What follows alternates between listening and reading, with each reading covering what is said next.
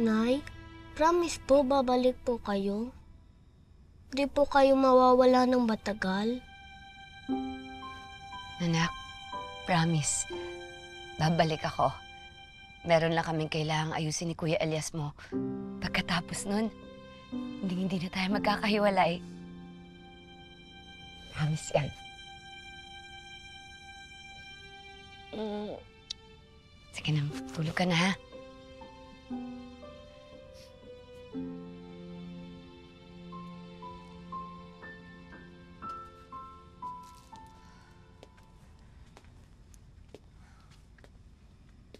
Alam mo na ka ng gagawin mo.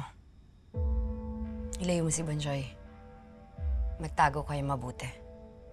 Oo, Romana. Mag-iingat kayo.